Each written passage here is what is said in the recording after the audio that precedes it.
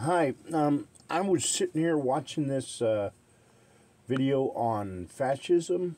Uh, why you can't ignore this far right trend? It's called. But um, I was I was watching this, and I've watched four minutes and forty seven seconds of a twenty four minute video. Twenty four minutes and twelve seconds.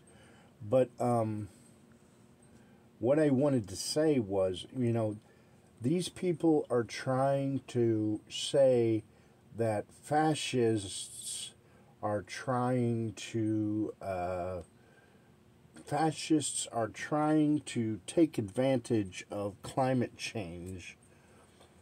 Uh, that's what they're trying to say. That's that might be what their mind is telling them. What you know, whatever opportunity jumps up there, they're gonna they're to reach at it, you know, they're to try to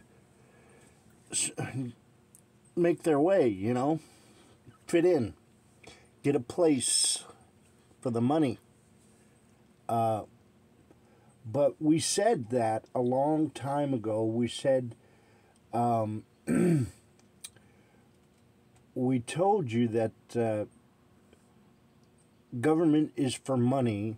Uh, money is an arbitrary requirement, uh, and you aren't going to make anything, you aren't going to make any kind of progress whatsoever because the system is too ingrained in the civil aspects of society. It's too ingrained. You aren't going to make any progress at all. You're going to get fought at every turn. Everything you try to do, you are going to run into a brick wall.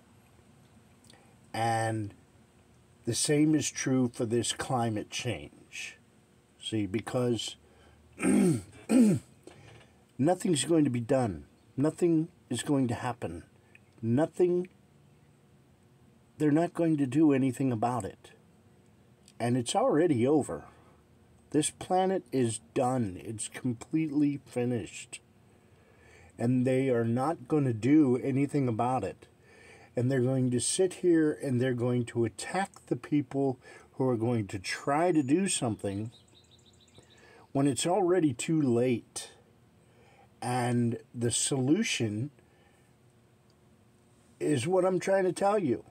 And every time I try to tell anybody anything in this world, I get I get beaten down.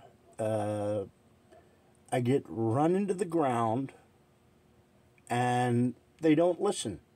And I'm trying to get away from them, see, because I learned that a long, long time ago.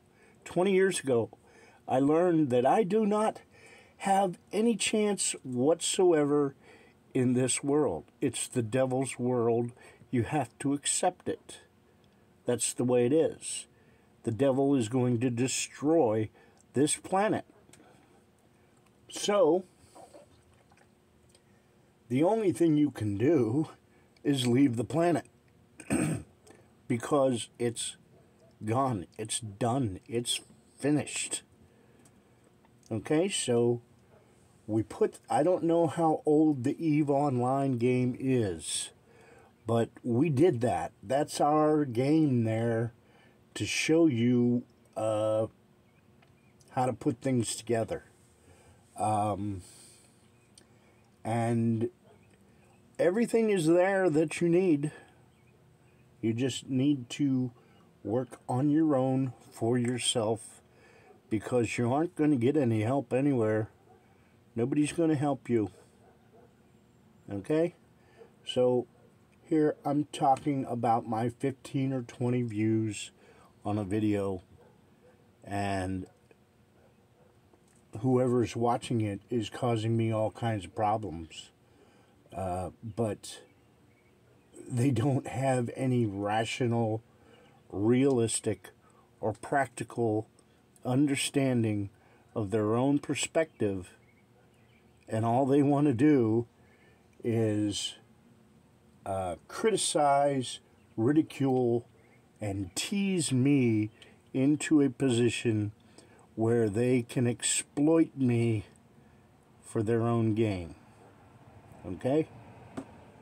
So I just wanted to be clear on that.